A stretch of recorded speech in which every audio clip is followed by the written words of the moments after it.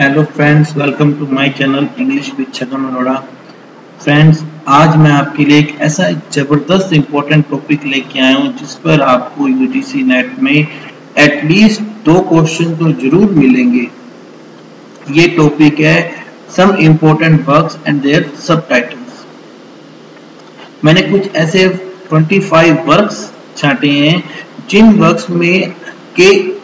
सब टाइटल्स भी बहुत ज़्यादा इंपॉर्टेंट है और ये क्वेश्चन आप पिछले पेपर्स में देख सकते हैं, आता ही आता है।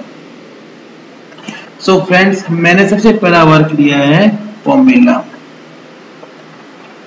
फॉर्मूला जो है, वो लिखा हुआ है सैमुअल रिचर्डसन का और इसका जो सब टाइटल है, वो है वर्चू रिवार्डेड सेकंड वर्क मैंने लिया है शेक्सपियर का लिखा हुआ ट्वेल्थ नाइट ट्वेल्थ नाइट जो है ये शेक्सपियर का बहुत ही इंपॉर्टेंट वर्क है। इसके ऊपर मैंने वीडियो भी बना रखा है। अगर आपको समझना, आप वहाँ से देख सकते हैं। इसका सब टाइटल है ट्वेल्थ नाइट का वट यू विल जो कि बहुत ही इंपॉर्टेंट है। What you will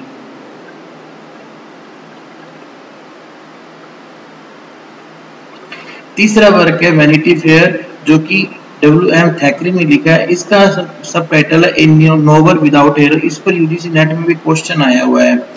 test of the Urbervilles जो कि फ़ेमस विक्टोरियन थॉमस हार्डी ने लिखा है, इसका सब टाइटल है ए प्योर वुमन तो देखिए फ्रेंड्स ये सब के सब वर्क्स बहुत ही इंपॉर्टेंट वर्क्स हैं, और मैंने इनमें काफ़ी मेहनत करके ऐसे वर्क्स ढूंढे हैं जिन पे क्वेश्चन आते हैं। जैसे कि नेक्स्ट हमारा है फ्रैंकस्टीन फ्रैंकेस्टीन जो कि मैरी शेरी ने लिखा है लिखा हुआ एक गोथिक नॉवल है, इसका सब टाइटल है द मॉडर्न प्रोमिथियस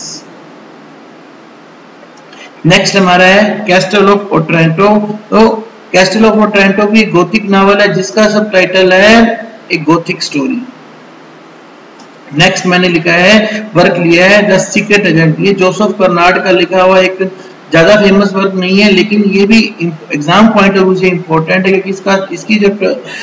सब टाइटल है, बिल्कुल सिंपल है a simple tale the importance of being earnest Oscar Wilde बहुत ही फ़ेमस वर्क है the importance of being earnest और इसका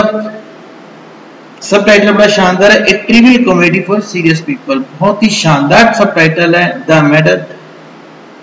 जॉन ड्राइडन का लिखा वर्क है ए सटायर अगेंस्ट सेटिटेशंस ये एक पोइम है द मेडल ये एक पोइम है अलास्टर पीवी शैली की लिखी हुई एक पोइम है. इसका वर्क है the spirit of solitude next Absalom and Achitophel एक पोइम वेवरले वाल्टर स्कॉट ने जो पहली नॉवल लिखी थी वेवरले नॉवल उसका था is 60 years since Middlemarch George Eliot का इसका भी क्वेश्चन आया हुआ है a study of provincial life Sartor Resartus Thomas Carlyle का लिखा हुआ बहुत ही फ़ेमस वर्क है जिसका हम्म, जिसका सब टाइटल है tailor repatched the silent woman Ben Jonson का लिखा वर्क है इसके ऊपर भी क्वेश्चन आया हुआ है एपिकेन पर.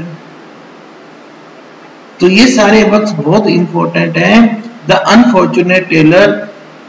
जो कि यूनिवर्सिटी थॉमस नेश ने लिखा था, इसका जो सब टाइटल है the life of Jack Wilton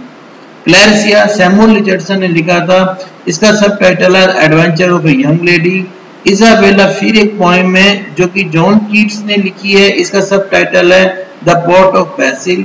princess Tennyson की लिखी हुई पोएम है, सब, जिसका सब टाइटल है a medley kangaroo D H Lawrence का लिखा हुआ